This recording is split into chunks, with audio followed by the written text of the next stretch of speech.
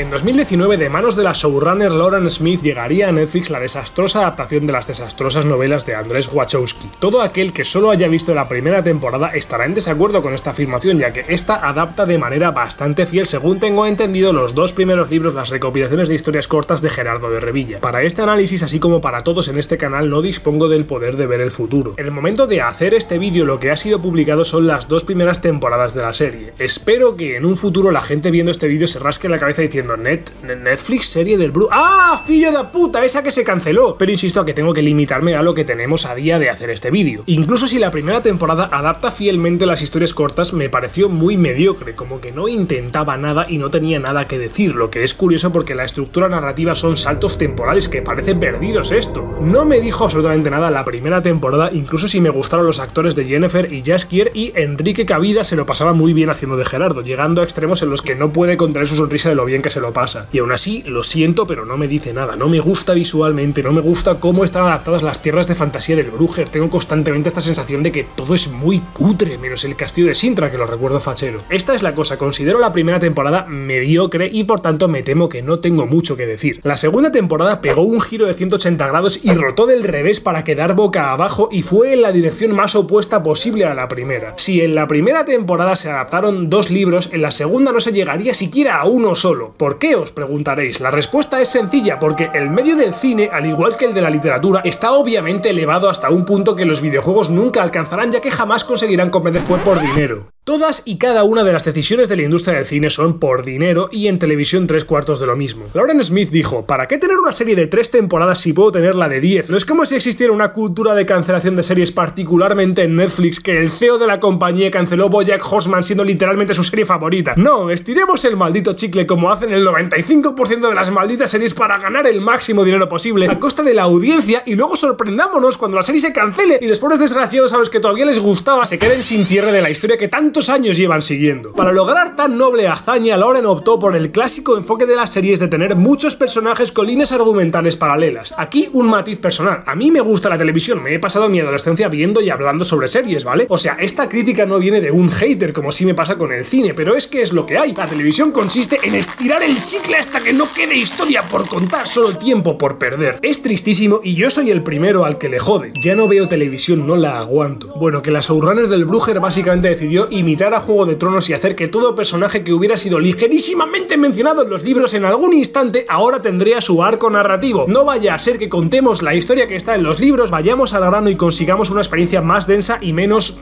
una pérdida de tiempo. En fin, el problema de todo esto es que se juntaron el hambre y las ganas de comer, refiriéndome con esto a que el equipo mantuvo el objetivo de adaptar los libros de Sapowski. ¿Cuál es el problema de la segunda temporada y el que aventuro que tendrán el resto de temporadas hasta la inevitable cancelación de la serie? Más aún ahora que Netflix casi parece que está en bancarrota y que Henry Cavill ha huido de la serie como si se tratara de la peste. Pues el problema es que la serie tiene que pasar por todos y cada uno de los puntos de los libros, que no son muchos como hemos mencionado antes. El problema es que la serie quiere plantear desvíos líneas alternativas paralelas a la historia de los libros, pero que en ningún momento y bajo ningún concepto pueden alterar la historia de los libros, lo que significa que, por definición, todas y cada una de las tramas inventadas por la serie no van a ninguna parte, son una pérdida de tiempo. Si has leído los libros sabrás distinguir entre cosas que están ahí por algo, porque las escribió Andrés, y cosas que sobran, que no van a efectuar ningún tipo de cambio en el mundo. Por ejemplo, cojamos a Francesca Findever y a Fringilla Vigo, quienes, me preguntará parte del público que no recuerda las novelas en detalle. Sí, hombre, Francesca Findever y Fringilla Vigo. ¿Os acordáis de cuando Francesca Findever y Fringilla Vigo tuvieron una subtrama sobre acoger elfos en Sintra y tener un bebé que luego es asesinado y los elfos se marchan porque toda esta trama era inventada y estaba terminantemente prohibido que pasara nada en ella?